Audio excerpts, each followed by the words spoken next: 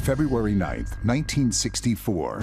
Television history. The Beatles made their American debut on The Ed Sullivan Show. And now, on the same stage, exactly 50 years later, plus five more years, three months, six days, a new batch of mop top heartthrobs has landed. Cassius Clay and his spinning plates, everyone. Thank you, Cassius. Ladies and gentlemen, tonight we've got a big, big show, and it continues.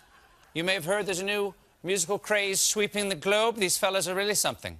They're called BTS, and people are so excited, you can, you can only call it Beatus Mania.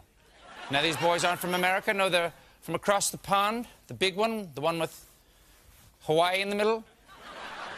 They're really a fine group of youngsters. In fact, you can call them the Fab Seven. It's got a nice ring to it. So let's meet them now. Fellas, introduce yourselves.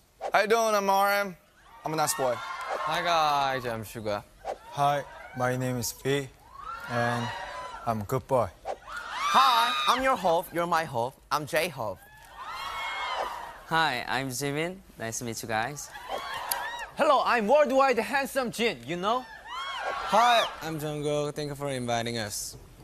Or as they're known by their nicknames, the cute one, the cute one, the cute one, the cute one, the cute one, the cute one, and, uh, uh, I'm sorry, a little help?